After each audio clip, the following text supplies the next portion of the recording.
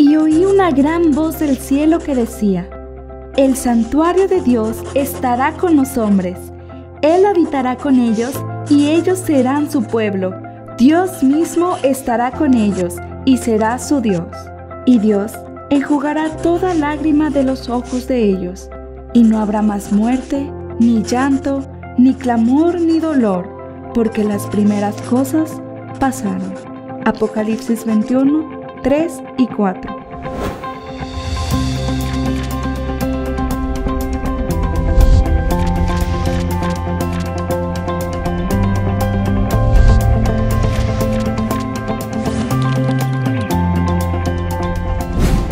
Bienvenidos una vez más al estudio de la Escuela Sabática Universitaria. Hemos llegado al final de esta lección, la lección número 13 que lleva por título El triunfo del amor de Dios. Creo que termina en un tema muy especial y el día de hoy no me encuentro sola, me encuentro con tres compañeros que la mayoría de ustedes ya conocen muy bien, pero voy a pedirles que se presenten y que al presentarse puedan decirnos algún mensaje de esperanza que les gustaría compartir con el público que nos ve.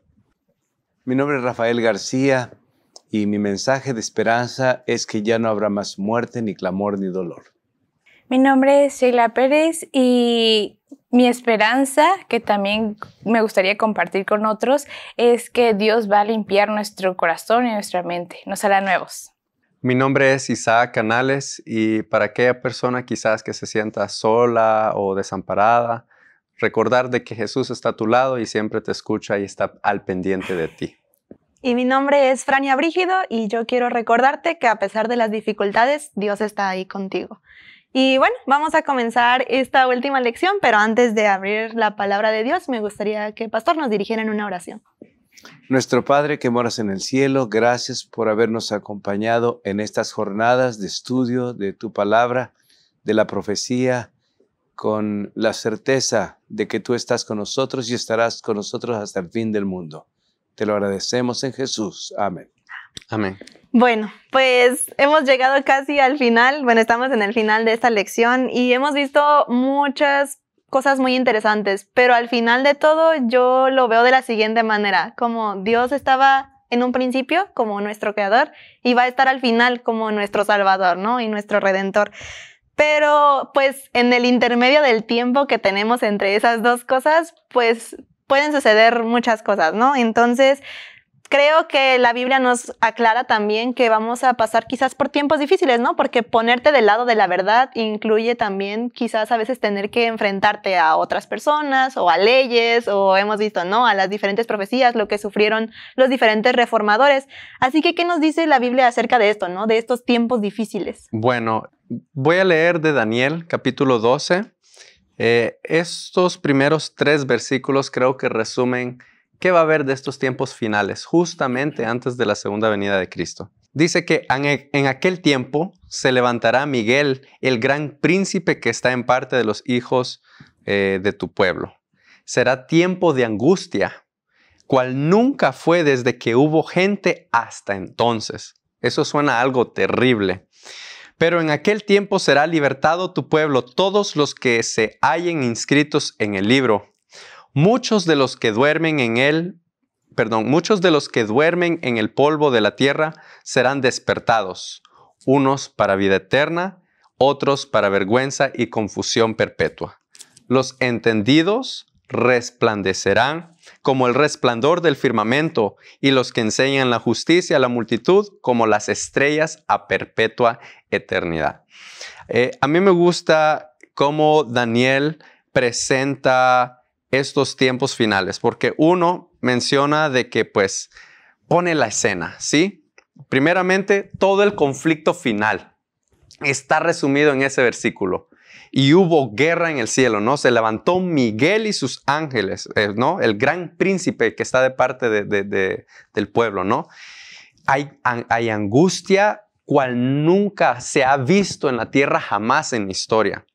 Entonces, estamos hablando de un tiempo que ningún libro, ninguna historia en este mundo ha registrado jamás. Y eso quizás pone duda e incertidumbre en nuestras mentes, porque este, ¿cómo, cómo abordas algo que nunca ha sucedido en el mundo? es, quizás pone ansiedad en algunas personas solo pensar, ¿qué hago? ¿Qué es lo que se debe hacer? Entonces, eh, para resumir los otros puntos, este, estamos hablando del tiempo del fin. ¿Por qué? Porque menciona de que se levantarán aquellos que están en el polvo, que ya mencionamos que estamos hablando de los que están descansando en Cristo o los muertos, unos para vergüenza eterna y otras para eternidad. Y eso también resume lo que ya sucedió. Los entendidos resplandecerán. Hace muchas lecciones atrás mencionamos de que la luz se iba a propagar, se iba a dar a entender con fuerza, con autoridad, y, iba a mostrar la luz a las tinieblas, a todo el mundo. Así que, este, en resumen, eso es lo que Daniel menciona acerca del tiempo del fin. Van a haber tiempos de angustia, mucha ansiedad, mucha incertidumbre, más de lo que jamás hemos visto en la historia del mundo. Esa es la escena ahora. Y tú mencionaste justo una pregunta, pero ¿qué hacemos, no? ¿Cómo nos preparamos para ese tiempo de angustia? Bueno, la confianza en Dios se va forjando cada día, ¿no? Al eh, seguir, a tener una relación con Él, al depender de Él en las cosas pequeñas, para que cuando vengan los tiempos difíciles podamos afrontar la crisis, porque finalmente vemos que la crisis em, que empezó con el tema de la adoración también terminará con el tema de la adoración, entre la verdadera adoración y la falsa adoración ante esta circunstancia, dice eh, el, salmista, ¿no? que mantendré mi integridad, ¿no? Debemos ser íntegros, debemos mantenernos leales a la verdad y a los mandamientos de Dios, porque Satanás está airado contra los que guardan los mandamientos de Dios y tienen la fe de Jesús. Así es, debemos de aferrarnos a nuestro Creador, ¿no? Conocerlo a Él y no poner nuestra mirada en las cosas que están sucediendo, ¿no? Y yo creo que hacerlo requiere que tengamos esa fe, ¿no? Y para tener esa fe, muchas veces Dios deja en la Biblia promesas para que nosotros recordemos lo que Él nos ha dicho y tengamos esa seguridad. ¿Cuál es alguna de esas promesas que Dios nos ha dejado?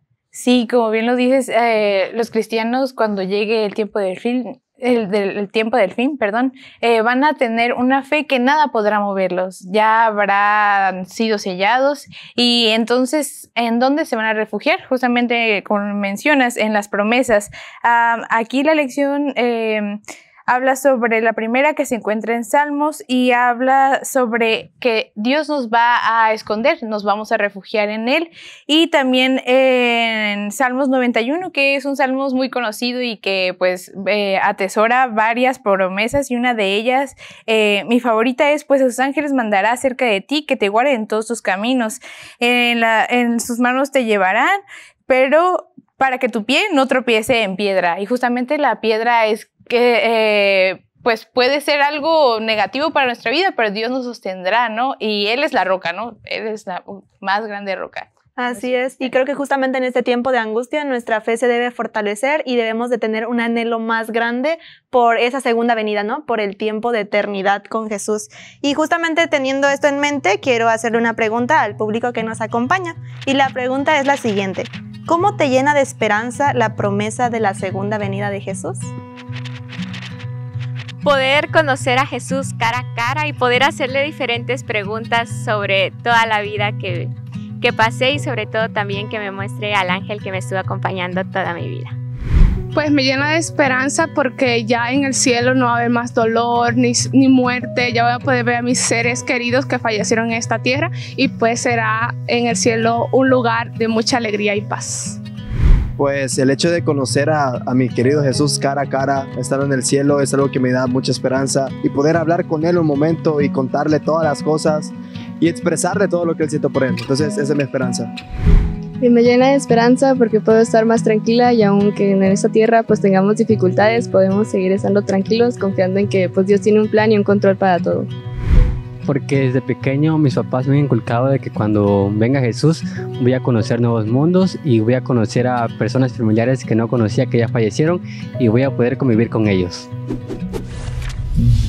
Agradecemos a todos aquellos que han compartido con nosotros acerca de esa esperanza que tienen en la segunda venida. Y yo también quiero compartir algo aquí con mis compañeros. Una de mis más grandes esperanzas en la segunda venida se basa en uno de los versículos que muchos conocemos, que es Juan 14 de 1 al 3. Desde chiquita recuerdo que me hicieron aprendérmelo, ¿no? Pero lo leeré. No se turbe vuestro corazón. Creed en Dios, creed también en mí. En la casa de mi Padre muchas moradas hay. Si así no fuera, yo os lo hubiera dicho. Voy pues a preparar lugar para vosotros, y si me fuere y os prepararé lugar, vendré otra vez y os tomaré a mí mismo, para que donde yo estoy, vosotros también estéis. Y es que el tema de la segunda venida como nuestra esperanza es un tema muy mencionado en, en la Biblia. De hecho, hace referencia a que en la Biblia, por lo menos uno de cada 25 versículos en el Nuevo Testamento hablan del regreso de nuestro Señor Jesús, ¿no? Y es bonito saber que nosotros podemos tener esa esperanza, pero hay por ahí una diferencia entre las mentalidades de aquellos que tenemos esa esperanza y aquellos que no tenemos. Pastor, ¿cuáles son estas diferencias de la mentalidad de los que tenemos esta esperanza y algunos que no la tienen? Bueno, cuando nosotros ah, andamos eh, siguiendo los mandamientos de Dios, pues naturalmente nuestro anhelo es que Jesús venga, ¿verdad?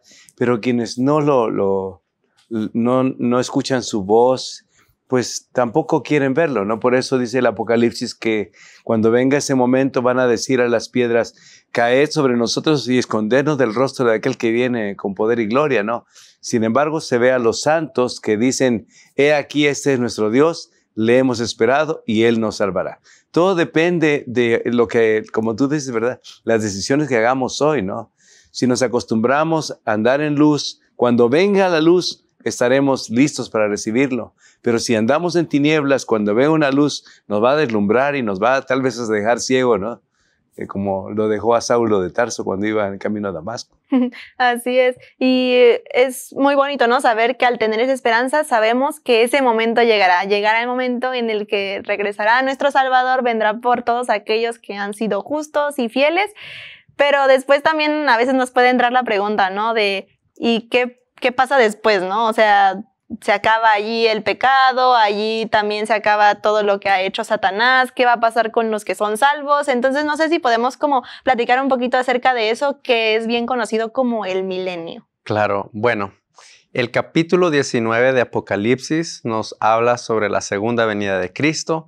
Hay regocijo, hay alabanzas, hay alegría en el cielo porque los salvos fueron rescatados por Jesús, ¿no? Como acaba de mencionar el pastor. Mas el capítulo 20 nos comienza a decir nuevamente qué pasa con el adversario Satanás. Y dice, vi un ángel que descendía del cielo con la llave del abismo y una gran cadena en la mano.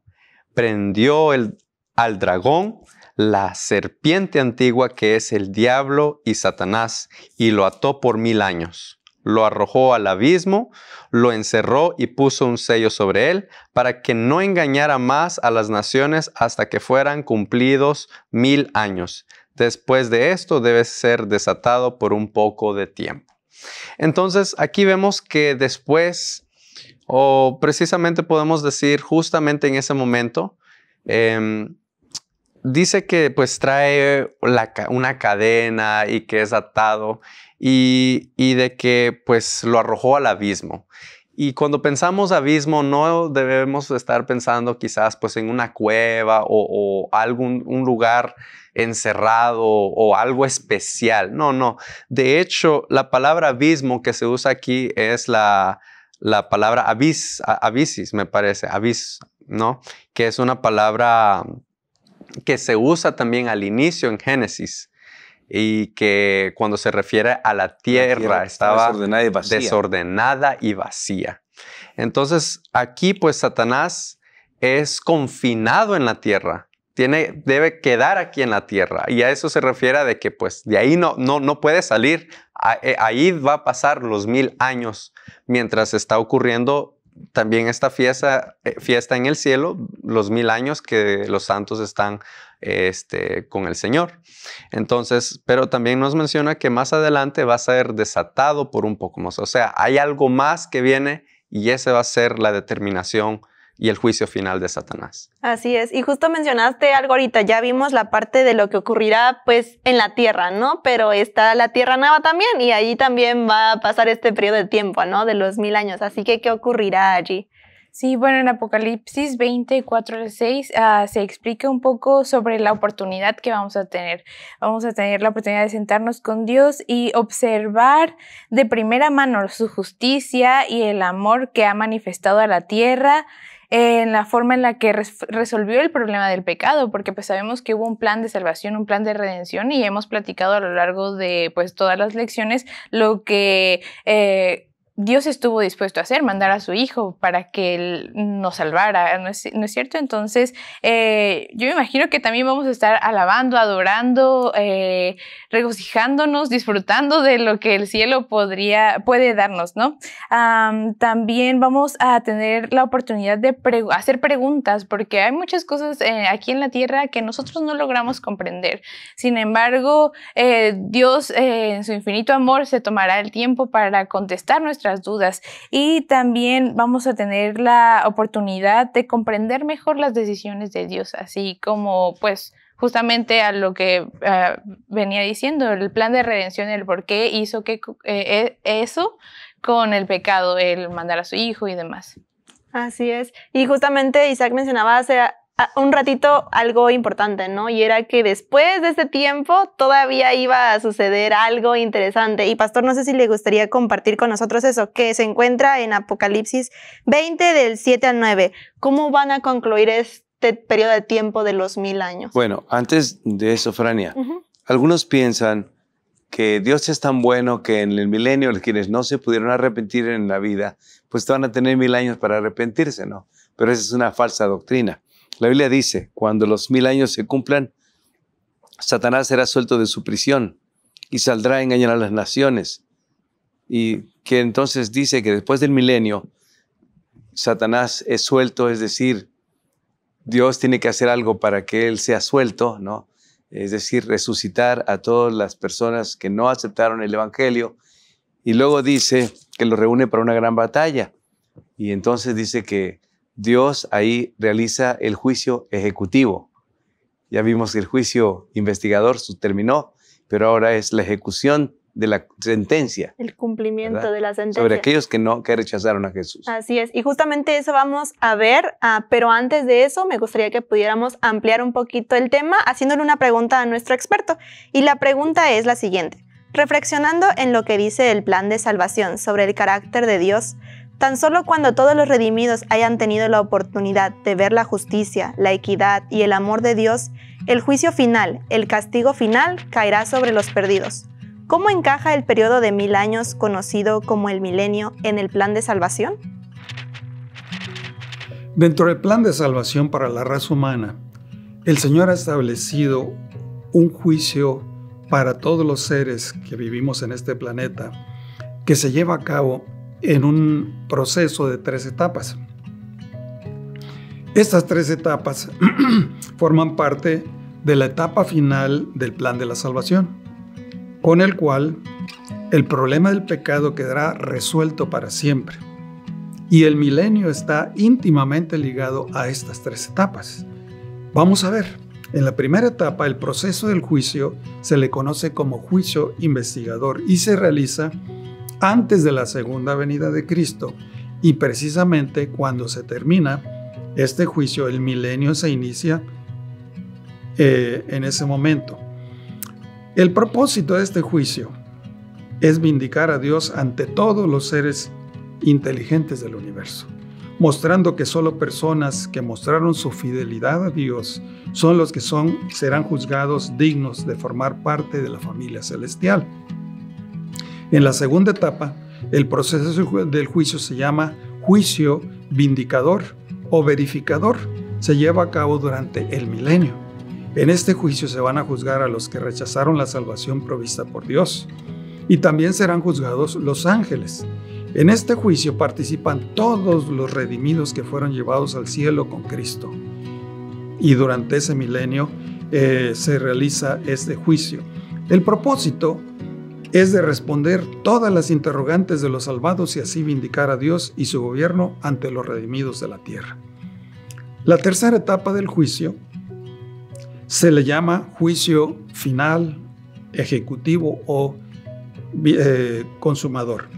En este juicio serán juzgados todos los seres humanos que hayan rechazado la salvación provista por Cristo. Todos los pecadores junto con Satanás y sus ángeles reconocerán la justicia divina y serán lanzados al fuego, eh, al lago de fuego y serán consumidos para siempre. El universo entero reconoce plenamente entonces que la paga del pecado es la muerte. Dios resuelve el problema del pecado para que nunca más vuelva a surgir. Y de esta manera se restablece la armonía y la paz ante todo el universo. Y Dios reinará por los siglos de los siglos en un universo sin dolor, sin muerte y sin pecado. Le agradecemos mucho, Pastor, por haber compartido con nosotros una explicación acerca de cómo se relacionan el milenio y el plan de salvación. Y justamente estábamos comentando acerca de este punto específico en la historia al final del milenio, en donde ya se establece este juicio final en el que todas las sentencias se van a cumplir, ¿no? De alguna manera. Pero, ¿qué va a suceder con esas personas que en ese momento resucitan en ese punto específico de la historia, Isaac? Bueno, em, resumimos entonces con Apocalipsis capítulo 20, versículos 11 en adelante. Ahí nos dice qué es lo que sucede.